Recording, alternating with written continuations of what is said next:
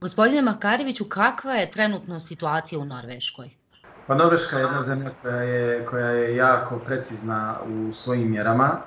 Uh, nisu i mjere tako rigorozne u toj mjeri kao što je u Bosni i Hercegovini recimo nema policijskog sata, međutim sve javne ustanove, ustanove su zatvorene, škole, javne institucije i to već pokazuje pokazuje određen uspjeh, jer e, broj zaraženih e, prvo je stagnirao, sad blago pada, Eh, imamo u ukupnom broju eh, veću, veću zaraženost i eh, veći mortalitet nego kod nas. Imamo 78 lica koja su umrla i sa današnjim danom 5866 inficiranih, međutim broj akutnih slučajeva koji su na respiratoru opada, što je jedan jako dobar pokazatelj.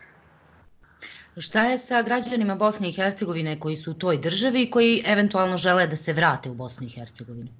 Pa krizni štab, e, krizni štab e, e, Ministarstva vanjskih poslova Bosne i Hercegovine je poveo akciju ove nedelje.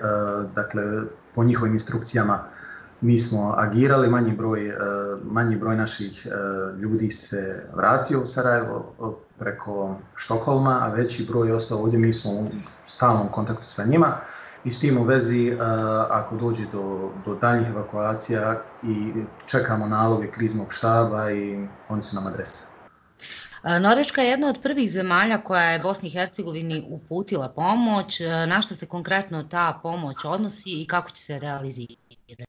Imamo uh, 7,5 miliona kruna pomoći koje je Norveška ustupila UNDP-u uh, u Bosni i Hercegovini koja će opet shodno uh, ovaj, shodno uh, prioritetima naših institucija sa kojima oni sarađuju um, implementirati ta sredstva. Ali to se uglavnom radi o medicinskoj opremi, onako kako sama Norveška ambasada u Sarajevu navodi, evo, da citiram, medicinska oprema, testovi na COVID, uh, ventilatori, pa čak i respiratori. Norveška pomaže i drugim zemljama u susjedstvu Bosne i Hercegovine, dakle zemljama Zapadnog Balkana. Imate li informacije kolika je ta pomoć? E, malo je nezahvalno iz, i, e, e, konkretne cifre iznositi, pošto e, e, nisu veoma decidne. E, najbolja adresa za to je naravno Ministarstvo vanjskih poslova Norveške, ali shodno ono što mi znamo u diplomatskim krugovima i evo naj, e, zadnja vijest je ona od gospodina Osmanija, koji je zamjenik eh, eh, ministra Sjeverne Makedonije za europske integracije, da će se raditi o cirka 3,2 miliona eura koja će, koja će biti stavljena na raspolaganje uh, Sjevernoj Makedonije, ali i Crnoj Gori i Srbiji. Rekli ste da će pomoć se prije svega odnositi na medicinski e, materijal i sve ono što je potrebno za zaštitu medicinara. Da li Norveška ima problem s tim? Evo čujemo da većina evropskih zemalja ima problem sa tim medicinskim potrepštinama.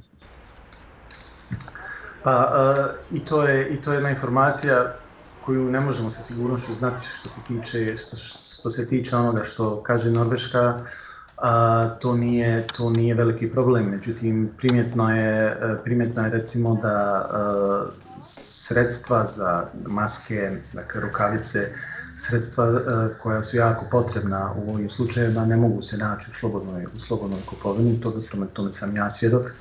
Um, I s druge strane imamo imamo informacije da nešto manje od 1000 respiratora su u funkciji u cijeloj Norveškoj gdje imamo 5,2 miliona ljudi. S tim u vezi to su, zavisi kako, kako gledate. Ima, imate stav vlade, međutim imate informacije koje se plasiraju u javnosti sa određenim ciframa, tako da čovjek mora da neki svoj ugao na tu situaciju, svoj pogled a, a, a, fokusira i iznesi svoje mišljenje.